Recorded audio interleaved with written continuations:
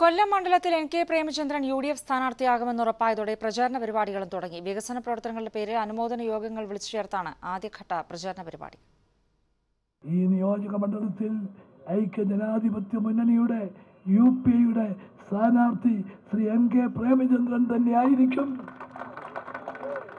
അദ്ദേഹത്തെ വൻപിച്ച ഭൂരിപക്ഷത്തോടുകൂടി നിങ്ങൾ വിജയിപ്പിക്കണം.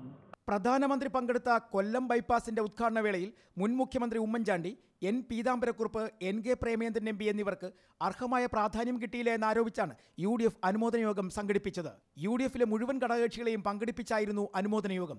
യോഗത്തിൽ പ്രസംഗിച്ചവരെല്ലാം എൻ കെ പ്രേമേന്ദ്രന്റെ ഭൂരിപക്ഷം വർദ്ധിപ്പിക്കണമെന്ന് ആവശ്യപ്പെട്ടതിനൊപ്പം പ്രേമേന്ദ്രൻ നടത്തിയ വികസന പ്രവർത്തനങ്ങളെ വാനോളം പുകഴ്ത്തുകയും ചെയ്തു. ഐക്യജനാധിപത്യ മുന്നണി ഒറ്റ പാർട്ടിയാണ്. ആണോ? അതിന് ഒരു മനസ്സാണ്. ആണോ? അതിനൊരു ശബ്ദവും മുദ്രാവാക്യവുമാണ്. ഇലക്ഷൻ വിജ്ഞാപനം വരുന്നതിന് മുമ്പ് തന്നെ ആർ എസ് പി സ്ഥാനാർത്ഥി പ്രഖ്യാപനം നടത്തി. ഇതിന് കോൺഗ്രസ് പിന്തുണയുണ്ടായി. പാർലമെന്റ് യോഗങ്ങൾക്ക് ശേഷം മണ്ഡലത്തിൽ വിവിധ പരിപാടികൾ സംഘടിപ്പിച്ച് എൻ കെ പ്രേമേന്ദ്രൻ സജീവമാണ്. ഇടതുപക്ഷത്തിന്റെ സ്ഥാനാർത്ഥി നിർണയം എങ്ങും എത്തിയില്ലെങ്കിലും സാധ്യതയുള്ള കെ എൻ ബാലഗോപാൽ മണ്ഡലത്തിലെ വിവിധ ചടങ്ങുകളിൽ സജീവമായി പങ്കെടുക്കുന്നു.